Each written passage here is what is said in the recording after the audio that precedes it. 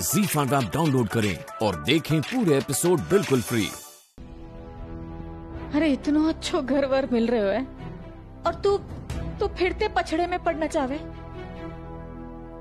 मिठाई? इतना आसान ना है सब कुछ।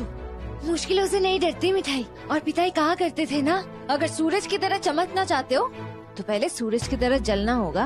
अरे कैसे समझाऊं कि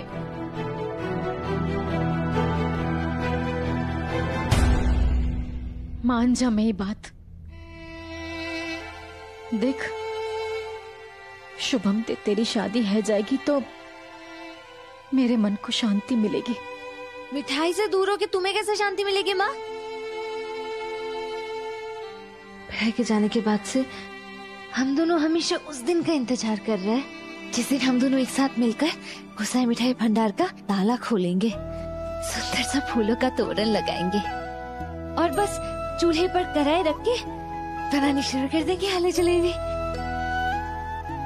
पिताई का भरोसा और तुम्हारे आशीर्वाद की वजह से इतने बड़े बड़े लोगों के बीच जाके कंपटीशन में तो जीती है ना माँ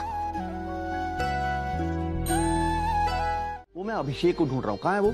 मुझे उससे बिज़नेस के बारे में कोई बातें करनी चाचा जी वो तो भी कमरे से ही नहीं निकले। मिठाई भी बुला के ला। अरे रुको।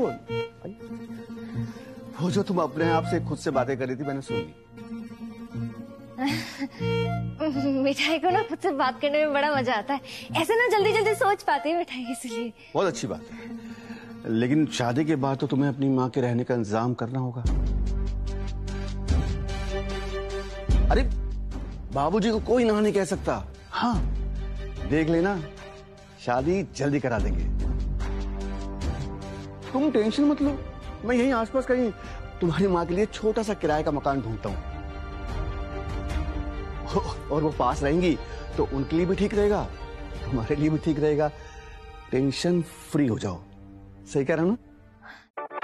जी फाइव ऐप डाउनलोड करें और देखें सारे एपिसोड बिल्कुल फ्री।